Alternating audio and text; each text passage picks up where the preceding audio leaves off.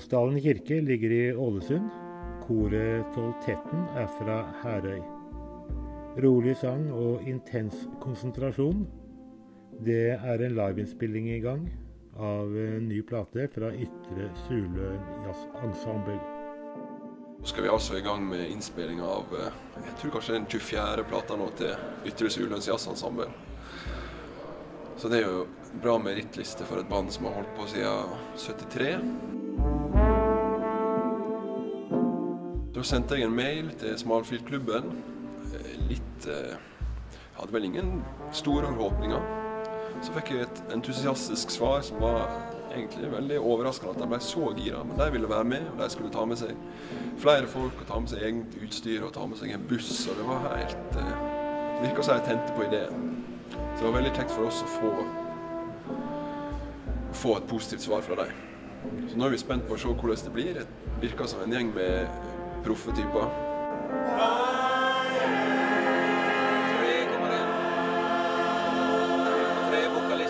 Da gjorde jeg mitt beste. Um, har fått med det her fantastiske koret. Å gjennomføre en lagenspilling er en eh, tid- og ressurskrevende affære. Ikke minst fordi Ytre Suløen er perfeksjonister. Vi arbeidet fra fredag ettermiddag til søndag ettermiddag seint. En eh, god arbeidsuke i løpet av en kort helg. I denne bussen som vi har lånt med Pettersen medieproduksjon, så kan vi få inn alle kameraene og mikse dem med denne bildemikseren her. Og så kan vi få inn alle, eller opptil 32 kanaler fra plateinnspillinga, så vi kan mikse separat lyden her. Det jeg har vært med på å gjøre på denne produksjonen her, det er å faktisk først og fremst å få bussen på plass og finne parkeringsplass der som vi skulle spille inn. Det var jo en utfordring i seg sjøl. Og, og, så organisere alle de som skulle hjelpe til med å dra kabler og få lagt de gjennom rare plasser og, og dører og vinduer og you name it.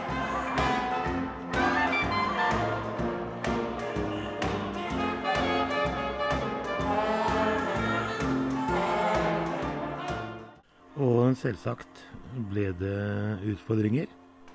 Problemer kommer som kjent ikke varslet. Det ble forfall på produsenten, så da måtte Idar ta rolla med ting han ikke kunne, og være produsent også. Og med seks kamera og aldri vært borti det før, så ble det til tider stressende. Avstanden vår da, er ikke så god som vi kanskje skulle hatt litt lengre bak. men å begynne å flytte så mye kirkebenker er ikke, er ikke så veldig greit. Krana f.eks. den mangler egentlig den høyden den skulle ha pga. alle kroner, altså lyskronene som står der. Vi må jo eh, være forsiktige med publikum. da. Når vi sitter i en sånn kirke som er så trang, og du har lyst til å bruke krana og gå bakenfra og fremover, så må vi helst ikke eh, treffe publikum på vei fremover.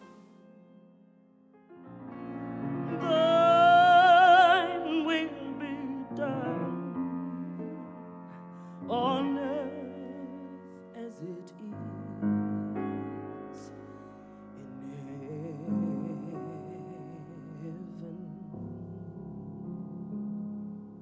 av utfordringene ble plutselig at én eller flere kurser til lyset forsvant. Voldsdalen kirke er bygd på begynnelsen av 70-tallet. Er ikke høyteknologiens høyborg når det gjelder elektriske anlegget, og vi rota rundt nede i et gammelt antikvarisk sikringsanlegg for å finne løsningen på feilen. Det viste seg å være en ledning oppe som var løsnet, rett og slett. Det hele virka tidvis kaotisk, med folk i alle retninger og fasonger. Med korister, blåsere, solister, dirigenter, kamerafolk og lydfolk. Og andre som tydeligvis hadde en eller annen fornuftig rolle under opptakene. Men når uh, musikken spilte opp, skjedde det noe merkelig. Tilsynelatende uten noen plan fant alle sin rolle. Det virket som enhver enkelt visste nøyaktig hva en skulle gjøre. Vi som deltok fra Ålesunds malfilmklubb er stort sett amatører. Det er slett ikke Ytre Suløen med vokalist og kor. Vi hadde noe å lære, og det gjorde vi.